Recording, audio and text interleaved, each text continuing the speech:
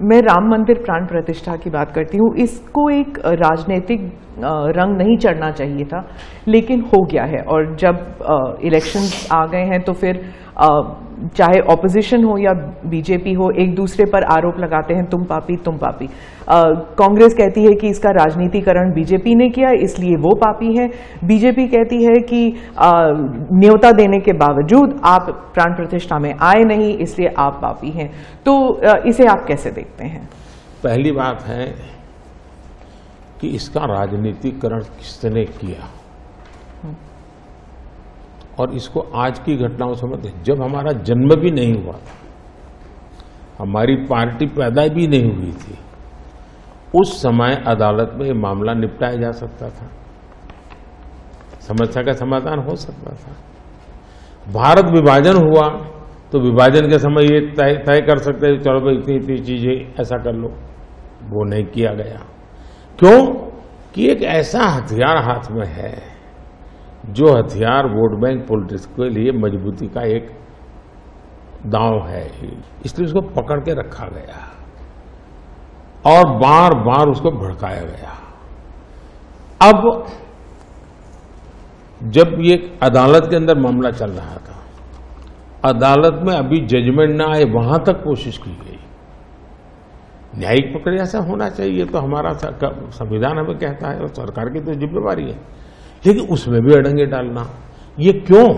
क्योंकि उनके लिए ये राजनीतिक हथियार था ऐसे लोगों के लिए। और देखिए राम मंदिर का ऐसे लोग हैं राम मंदिर राम मंदिर कर रहे हैं तुम्हें मार देंगे। ऐसा करके वोट बैंक बनाने का एक तरीका था। अब हुआ क्या? राम मंदिर बन गया। तो उनके हाथ से वो मुद्दा ही चला गया। अब वो किसी को डरा नहीं पा रहे हैं राम मंदिर आ जाएगा। आ गया। कुछ नहीं हुआ आग नहीं लगी कोई। दूसरा इनकी प्रकृति आप सोमनाथ मंदिर से लेकर के अब तक की घटनाएँ देखिए। वे भारत की मूलभूत आस्थाएँ भारत का मूलभूत जो पिंड है उसके प्रति नेगेटिविटी लेकर के ही देश में वो अपनी बातें। अब सोमनाथ मंदिर को क्या प्रॉब्लम था? सरदार पटेल थे। डॉक्टर राजेंद्र बाबू को जाना था। वहाँ तो न जनसंघ था न भाजपा था न आरएसएस थी न कोई लड़ाई थी। लेकिन उन्होंने मना कर दिया जाने वो जो नेहरू जी की जो चिट्ठी थी हाँ। जो भी है। अब ये ये और ये वो वो परंपरा आज भी चल रही है कि प्राण प्रतिष्ठा का निमंत्रण मिले। और आप उसको ठुकरा दें। सचमुच में तो आपको गर्व होना चाहिए कि ये राम मंदिर निर्माण करने वाले जो भी लोग हैं जिन्होंने संघर्ष भी किया है वे आपके सारे पाप भूल करके, सारे आपके गुना भूल करके घर में आकर के आपको इनवाइट कर रहे हैं और नए से व्यवहार शुरू करना चाहते हैं। आप उसको भी उस पुराने मिजाज से ठुकरा दे। तब लगता है कि आपके लिए वोट बैंक एक बहुत बड़ी आपकी मजबूरी है।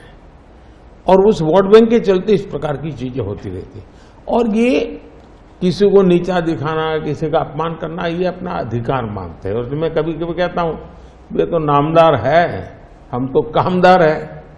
अब मैं नॉर्थ ईस्ट जाऊँ, वहाँ के लोग कोई कपड़े पहना दे, मैं पहनता हूँ। उसकी भी मज़ाक उड़ाना। यानी हर चीज़ की, मैं तमिलनाडु जाऊँ, लुंगी पहनूं तो उनको लगता है, देखो, ये ये कर रहा है, वो कर रहा है। मैं हैरान हूँ जी, इतनी नफरत लोकतंत्र में नहीं होती है नहीं होनी चाहिए। देखिए हमारे लिए मैं मानता हूँ ये न राजनीति का विषय हम लोगों के लिए है न होना चाहिए और न कभी होगा। हमारे लिए एक ज़बरदस्त आस्था का विषय है जी। और ये कोई प्रभु राम का संबंध कोई मेरे कारखाना में नहीं आया जी हज़ारों साल से और दुनिया के अनेक देशों में है। जब ये राम मंदिर का निमंत्रण देने के लिए ट्रस्ट के लोग मुझे आए उन्होंने ठुकरा दिया। मैं सोचने लगा, इतना बड़ा मुझे दायित्व तो दिया जा रहा है। मैं अपने आप को योग्य क्या कैसे करूँ? अपने आप को योग्य कैसे बनाऊँ? तो मैंने कुछ लोगों की एडवाइस ली, कुछ संतों की, कुछ जानकार लोगों की। मेरी स्पिरिचुअल लाइफ से जुड़े हुए कुछ लोगों को मैंने पूछा कि भाई, मैं इसको एक प्रधानमंत्री के रूप में, इस कार्यक्रम को नहीं लेता हूँ, एक राम भक्त के रूप में करना चाहता हूँ। मुझे क्या करना उसमें से मुझे सुझाव आया। तो सुझाव तो बहुत लेकिन मैंने फिर कुछ अध्ययन भी किया और मैंने मनोमन तय किया कि मैं 11 दिन का अनुष्ठान करूँगा। हम्म। और मैं ज़मीन पे सोता था नरगिल के पानी पर रहता था। और तय किया मैं प्रभु राम जहाँ जहाँ गए थे उसमें जहाँ भी मैं जा सकता हूँ जाने का प्रयास करूँगा। और वहाँ मैं अपना जब मैं श्रीरंगम मंदिर में गया। दक्षिण भारत में हाँ। दक्षिण भारत में। और कम्ब रामायण का मैंने पाठ किया वहाँ। हम्म। तब मुझे वहाँ के लोगों ने बताया साहब 800 साल पहले जब कम्ब रामायण की रचना हुई तो पहला पाठ इसी जगह में हुआ और मैं देख रहा सबके आँख में आँसू थे। ये जो मैंने अनुभूति की है साउथ में खास करके हम्म। यहाँ बैठे हुए लोगों को अंदाज नहीं आएगा जी।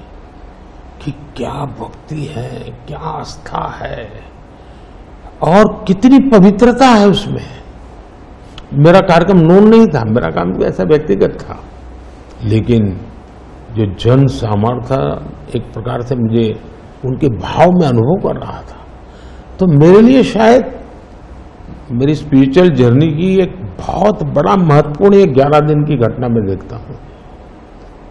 मैं और राम मंदिर प्राण प्रतिष्ठा को मैंने बहुत गंभीर लिया था जी। हम्म। मैंने एक इवेंट के रूप में नहीं लिया था जी। मेरे लिए वो इवेंट नहीं था वो एक स्पिरिचुअल मूवमेंट था आपके लिए। मैं मानता मुझे दिखता था वो 500 साल का संघर्ष। मुझे दिखता था 140 करोड़ लोगों की श्रद्धा हम्म। सपने और देश के गरीब गरीब लोगों ने पाई पाई देकर के मंदिर बनाया है जी। हम्म। ये मंदिर तीन चीज़ें मैं देखता हूँ। एक 500 साल का अविरत, अखंड, एक निष्ठ संघर्ष, लाखों लोगों का एक काम के लिए बलिदान। दूसरा, लंबी न्यायिक प्रक्रिया। इतने सालों की न्यायिक प्रक्रिया। और न्यायिक प्रक्रिया के हर तराजू से तुल करके निकला हुआ, कसौटी हुआ हुआ। दूसरा, टेक्नोलॉजी का उपयोग। एएसआई के द्वारा उसकी खुदाई सबूत ये एक बहुत बड़ा। और चौथा हिंदुस्तान के कोटि कोटि लोगों ने एक एक दो दो पाँच पाँच रुपया जो भी दे सकते हैं दे करके ये मंदिर बनाया है। हम्म। ये मंदिर सरकारी खजाने से नहीं बना है। ये ये ऐसे पहलू हैं कि जो भारत के स्वाभिमान को, भारत के सामर्थ्य को, भारत के सपनों को, भारत के संकल्प को और भारत के आने वाली पीढ़ी को बहुत बड़ी प्रेरणा दे